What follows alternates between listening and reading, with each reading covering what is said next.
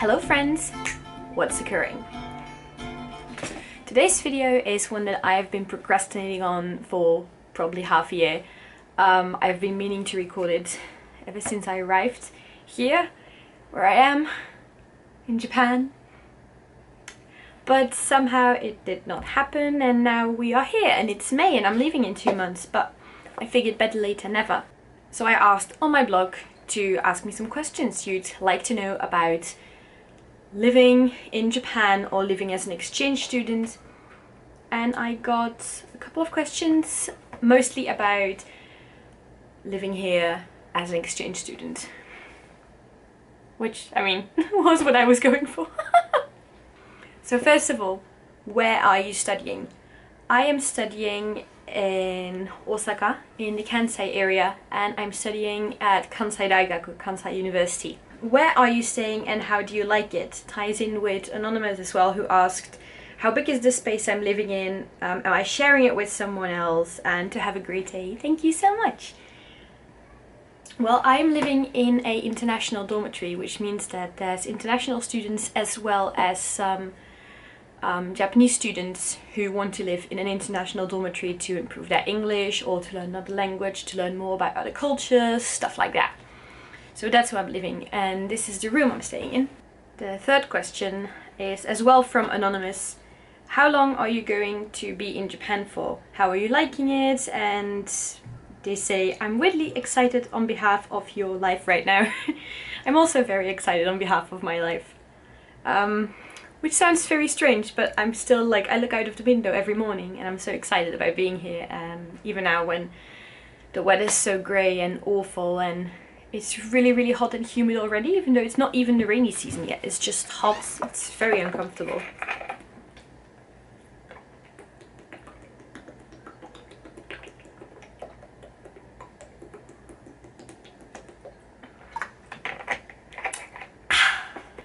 anonymous, most of these are anonymous. Um, anonymous asked, how are the people, how is your contact with locals? I'm really enjoying um, my contact with people here. Because I speak Japanese, not fluently, but definitely good enough, it's not as hard to get around as it is for some of the students who came here not speaking any Japanese, obviously. And it's been really nice so far. I've made a lot of friends here in the dormitory obviously and then I've met a lot of people outside of it.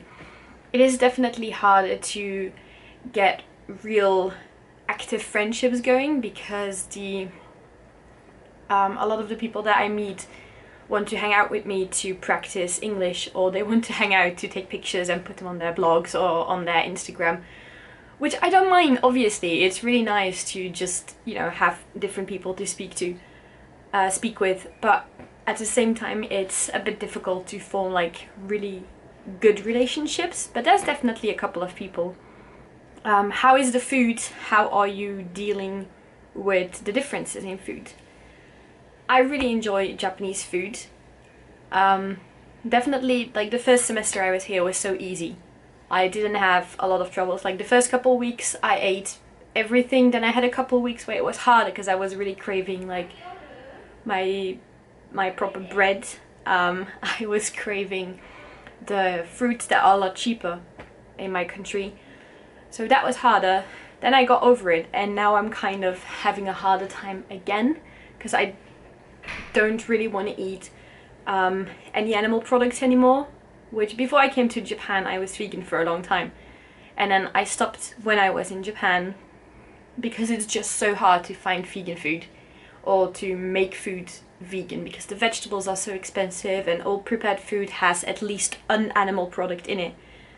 Um, yeah, so it's definitely hard on that topic. Like it's hard because I wish I could eat vegan and I can't and it's not making me feel as good. But overall it's fine. Like I'm eating a lot of delicious food. I'm experimenting so it's all good. Um what is my daily life like? Depends on if it's a school day or not obviously. Um I usually get up quite early in the morning before 8 I'll have breakfast I'll have my coffee do some yoga, though I haven't done it for last month, but I used to do yoga pretty much every morning.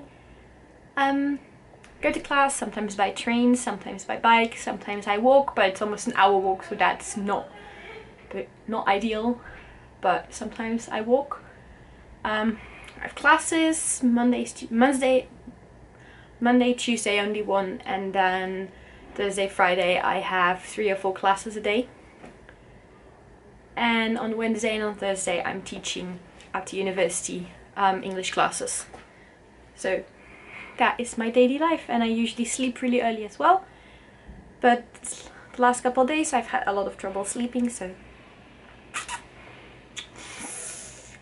yes.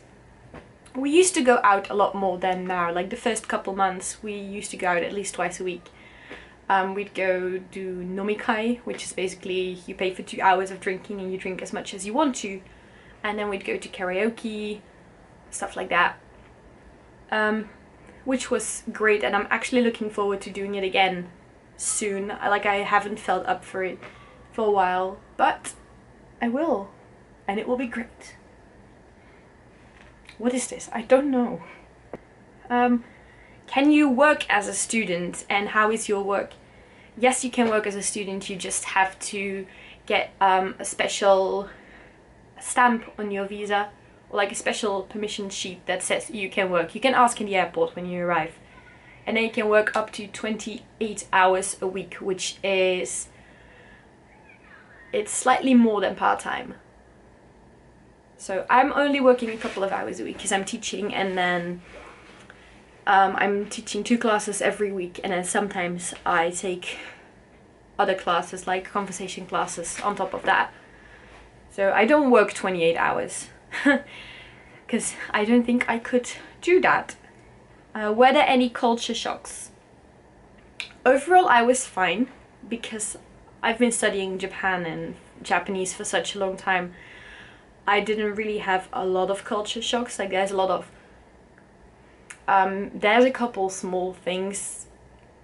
Like I think the biggest shock was when it's really hot and you can't really have your shoulders out because like everyone looks weirdly at you when your shoulders are out.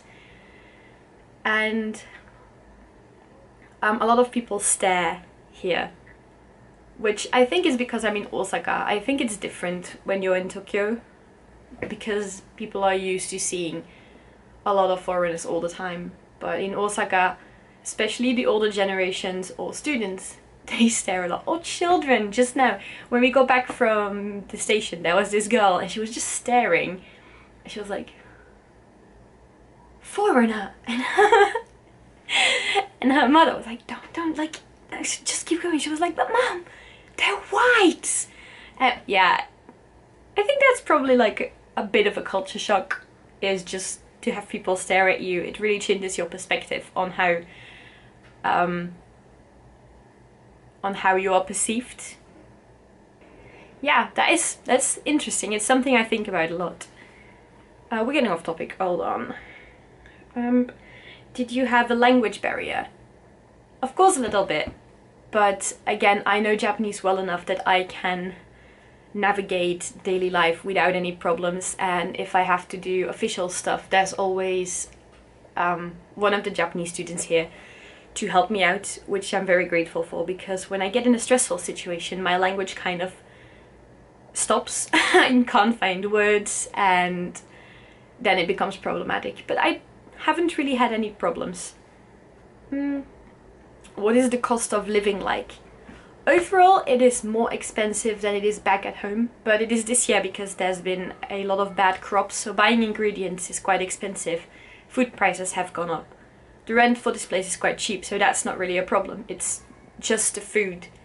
Yeah, so it's more expensive than it usually is this year because overall it's not that expensive. I mean, the money you have at home should be fine to be here, unless you come from Thailand or Taiwan. They've been saying that a lot of the stuff here is more expensive. But if you're from a Western country, um, it's not that expensive. It's quite similar. Dreaming of Demons, that's lovely, asked, what has been your experience having tattoos in Japan? honestly, it's been not bad. I have some people asking what it means or why I have them, but it's small enough because it's just like, you know, it's just that one. It's small enough that if I want to go in an onsen, they told me either it's fine or just, oh, can you put a band-aid on top of it? It's overall, I mostly get really positive reactions, even from the older people that I teach. They all love it. They think it's so cute. So, Japan's vision on tattoos is definitely changing as Japan is changing. So it's not as much associated with certain affiliations as it was, let's say, 10 years ago. So unless you're completely covered in tattoos, you should probably be fine. And oh, I have one other one. I am Jane. I am J Burp. Burp? I'm J Burp. Asked, how was it when you first moved to Japan with the time difference? Was it hard to adjust? Oh my god, it was so hard.